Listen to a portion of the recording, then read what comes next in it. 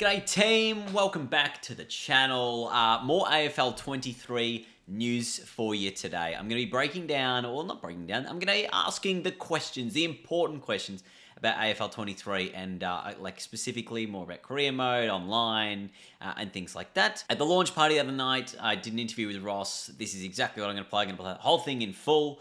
Um, I don't think I cut out any questions, but pretty much everything I wanted to know about the game I asked in this. So if there was anything I forgot to ask, sorry about that. Um, but you're going to learn a whole bunch of information about the game in this interview. Let's get it on. All right, so we are here at the AFL 23 launch with Ross the Boss, uh, and we're going to ask him everything about the game. Obviously, full. And I'll, and I'll answer some of it. He'll answer as much as he can. he tells me. Um, obviously, tonight we unveiled the cover cover players. Yeah. Uh, we have Trac, who's the nicest guy in the world, Yeah. and uh, Darcy Vescio. How did you get, come up with that? Was that your idea, or was Well, that the AFL see, mostly? We weren't allowed to have both Darcy, you know, and Cripps. yeah, So, yeah, you know, of course, classic Carlton. I would have liked to have Darcy and Cripps on there, but yeah, oh well. Oh, but well. Tracker will do. Actually, he's he is awesome. Obviously, He is so nice. player, He is Premiership too player. nice. He's awesome. And Darcy, Darcy equally, Darcy equally. People want to know about the game. That's why I'm here, of course. Yeah, of course. Of course. Softening me up I had a bit of a go earlier. Uh, how do you think it is, obviously, between where it is now and where you'd like it to be at launch? I think uh, animation wise, likeness wise, um, all the incidental stuff, Yeah, the career mode and all these things, I think they're, they're on point. yeah, We won't be changing any of that. yeah, But AI wise, we're still tuning. Yeah. So we got we got uh, Johnny Barker, um, a couple of AFL coaches. yeah, Um, they've sat over our shoulders and they've actually given us a breakdown of how every team plays. And we didn't know until we got into round one how the setup was going to be. yeah. So now that we've got the setups from round one, we're able to actually go now and hammer before April 13 Yeah. and get this stuff in. So really fine tune each team to play how Yeah. they're currently playing Exactly, this season. exactly. Yeah. Oh yes, I was talking to Mitch Robinson earlier today. He was Fantastic he, he was saying he's going to be doing some mocap for you guys. He is. Yeah, tomorrow. yeah. Is that is So- that a hidden information or is that So now? no, no, no, no, no. So Mitch, Mitch will be down at Carlton tomorrow. Yep. Mitch has returned to Carlton. The first time he's ever been back to Carlton Yep. since uh, gone. Yep. Um, but yeah, no, Mitch will return to Carlton tomorrow. Uh, we're going to put him in the high performance centre, Yep. and we're going to put him in the mocap suits in the high performance centre, and see how he goes. Beautiful. So it's going to be it's going to be awesome. career mode. I guess Yeah. people want to know about career mode. What are you doing differently? And like, I guess, what was your approach to this career mode? Because tonight you had a few presentations, but there wasn't a lot of in-game, like in-depth yeah. stuff about the game. So, if I'm allowed to ask Yeah. a question, Hey, you can always ask me anything as to what I answer. what what But no, is that going to be revealed later as to like No, no, how mode- in-depth it is, or what what sort of the the story is that you play as a team? Can you play as an individual? You've got Hey, you've got both. you've got both. You've got both. So, the, I think team will, team will be the most played. Yep. There's no doubt in my mind team Oh, will yeah, be the most that's played. what I'll be playing. Because there's nothing like sitting in the forward pocket waiting for the ball. Yeah, there's tw- there's 18 people on the field Yeah, on your team. exactly. It's a lot of time that you're not going to get the ball. Exactly. With with that though, obviously, do you take a different approach and going, all right, this is what your player has to do here? Like, is that Oh, what you're well, trying to a do little bit- a little bit. more We- objective based for that player rather than just Yeah. take the field and do whatever you want? Well, we did this in our rugby games Yeah, back in the day, where you're meant to fulfil a role. So if you decide that you're a full forward that wants to go on ball, you're not going to do real well. yeah, Like in terms of you've got a team role and you need to perform it. So essentially, we will ascertain as to whether you played a good game or not based on what your role was. yeah, And it's one of the interesting things, like with football in general. You look at the Brownlow count. You, you- sometimes I'll look at a Crippa, and I will have been in the rooms prior to a game. I'll know that he's had a role. I'll know that he's not going to earn any Brownlow votes because he's got a role. He's going to do his job, Yeah. and he'll earn him nothing. But he'll get the game. He'll get the team a win. you Yeah. know. And we see it week in, week out, where players have to perform certain roles. yeah. Exactly. And that's where we're headed. Cool. Um, on on that, if there is, like, obviously there's a player career for both team and uh, individual. With your cricket and your tennis games, you've had like sort of cutscenes, stories along with that. Is that going to translate into AFL? Yeah. Yep. So you'll get you'll get some of that as well, yeah. And uh, I, I figure you're going to go down the track of creation tools and all Yep. that sort of stuff. So every creation tool that we have for cricket Yep. and for tennis and all those, all of those creation tools day one. So essentially, you'll be able to create any game, any ground, any time, any players.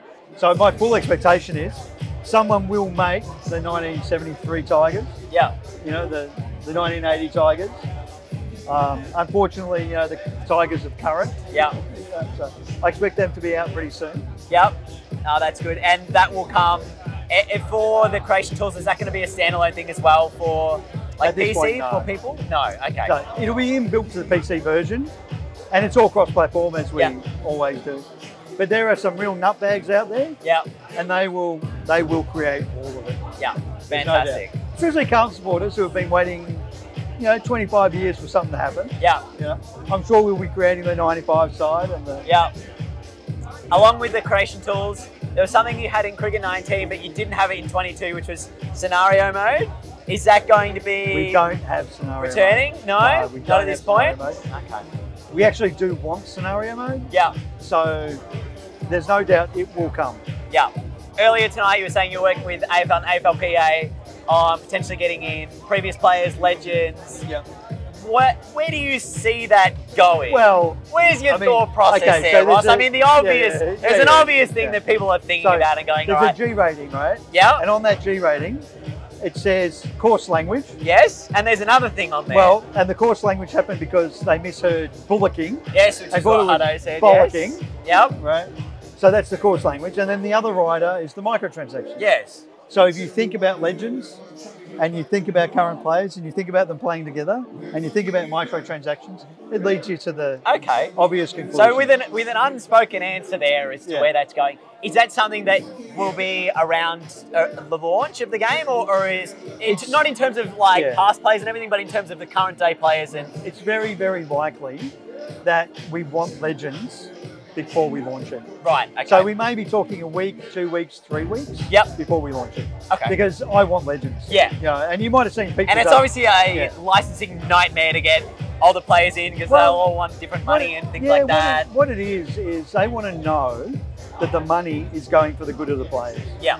and that's why we're working with the Players Association. Because working with the Players Association, we can ensure that past players are actually getting the benefit. Yeah. And you know, it's a you know, it's a it's a obviously topical that we look after past players. You Yeah. know, a lot of them are in strife and need help. Yeah.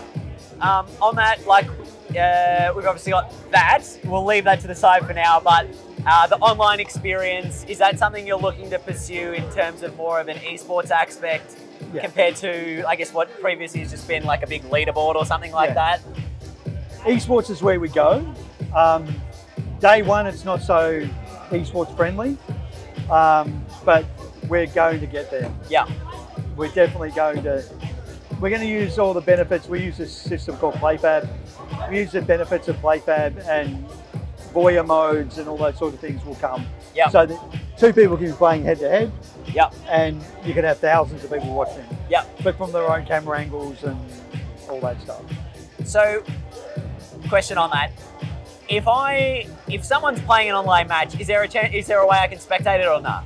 At the moment, no, but you will be able to. Okay, cool. It's on our, on our on our list to Yeah. patch in. Because I'm thinking from a streamer point of view, if I Oh, want to yeah. run a tournament with like 32 viewers Oh. and I want them all in there and I want to be able to watch their games Absolutely. and do whatever they're doing, Absolutely. I'll be able to be able to do that And you should be able to put the you should be able to put the camera wherever you want. Right. They they you don't impact that game. Yeah. You're a total voyeur. You don't impact that game. Put the camera where you want. Watch the replays you want. Stick with a player if you want. Yeah. That sort of stuff. Um, Broadcast friendly. Yeah, exa- exactly. Last thing, is there anything people should know about this game before they buy it? Like compared to, I guess, all the other AFL games that have had this, is there anything that you're like, this is why this game is better, this game is different, this is why you should buy AFL 23 because you're an AFL fan and this is the game for you? Well, uh, look, I think never before have all the players been captured to the, the depth that they have. yeah, So in terms of being real, it's real. Yeah. And, and we we've got players in mimicking other players. The players themselves, and you've seen tonight, the players themselves love the game. Yeah. Like you've seen, they love the game. Some of them, there's a couple of guys, maybe a Daicos or two, Yeah. that maybe didn't like their Wasn't stats. wasn't happy with his Wasn't rating. I heard his that rating, earlier uh, tonight. Yeah. Hey, Champion Data did it. Yeah. No. Not us. That's it. Not us. On, on that, I guess I spoke to Mike about it earlier, but let's get it on on record. Like, how how did you go about that and your partnership with Champion Data to get the players like ratings in game? So it, it, it's a boring answer. Yeah, We leveraged the AFL as a shareholder of Champion Data yeah, to get us the data. yeah. Uh, so they didn't have many choices. right. Big Brother said, "Hey, please, please I give think this to us. no, not I don't know if please was used. You're giving this Yeah. to us, all right? Yeah, it's our game. Yeah. Give us the data. Is that going to be a rolling thing in terms of like as the season goes on, it's Yeah. just automatically going to Absolutely. roll through? Fantastic. 100%. And same with like team lineups and Yeah. everything like that is just Yeah. going to be concurrent with what's happening. Exactly. Beautiful. Exactly. All right. Well, thank you so much, Ross, No for the worries. chat. I really you very much. appreciate it. And that's it. A bunch of stuff learned about AFL 23, Korea Online. Um, obviously, the Ultimate Team sort of announcement as well, which had a separate video on yesterday. Um, there, there's a lot in there. I might even do a, a separate video after this, doing like a everything we, we know so far, just sort of breaking down all the the answers and specific things about what we're getting, what we could be getting in the future, and what is going to be available at launch. So that's something maybe to look forward to. And if you are looking forward to AFL 23, make sure you subscribe because there's going to be nowhere else that will have as much fun, good content on it. I mean, there might be some other places, you never know. But I'm going to be covering it extensively uh, up until launch, launch, post launch. Th- this is the place to be if you're looking for AFL 23. Uh, so make sure you uh, stick around and thanks for watching. I'll see you all later. Goodbye.